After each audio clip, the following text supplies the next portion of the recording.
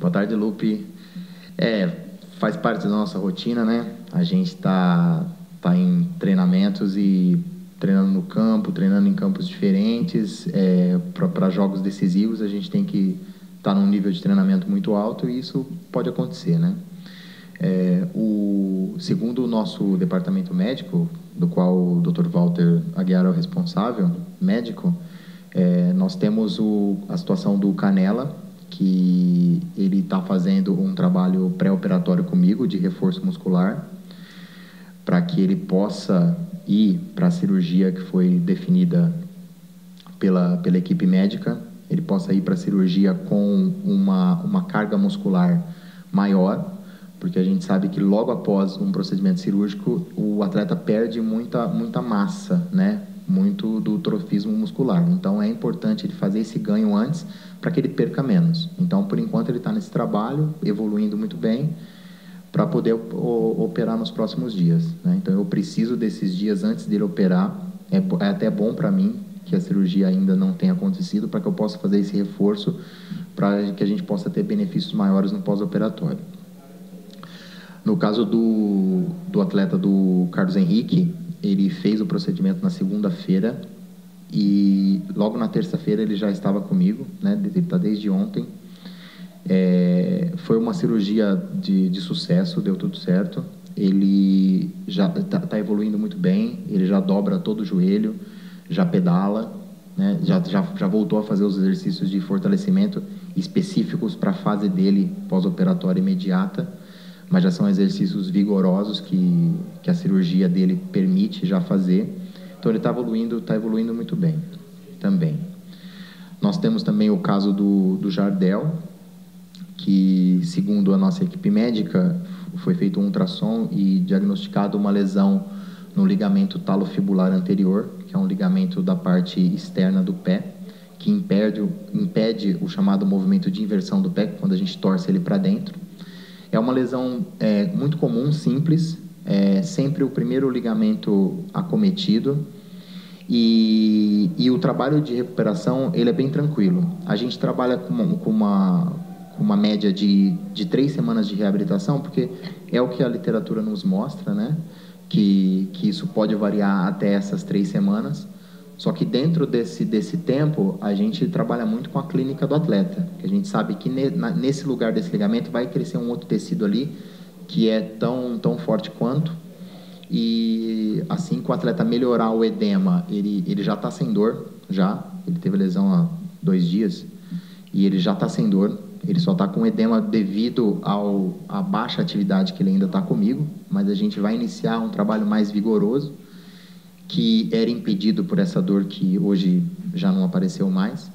E aí a gente vai conseguir evoluir ele bem dentro desse prazo, saber quando que a gente vai conseguir retorná-lo. Mas está é, tá, tá indo numa evolução muito boa também e o prognóstico é muito bom. É, o Mike, né? O Mike teve uma, uma lesão muscular grau 1, também segundo o exame. Uma lesão de menos de um centímetro, né?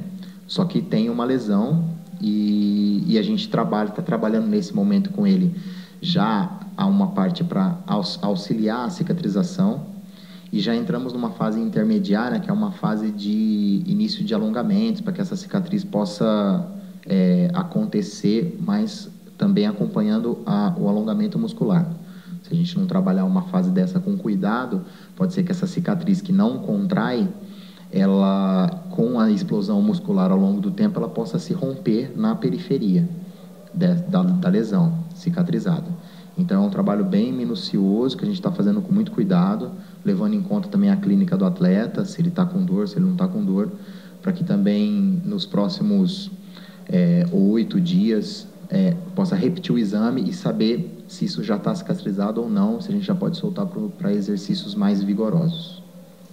Rogério, quando é a cirurgia do Canela e expectativa de retorno do Carlos Henrique e do Mike?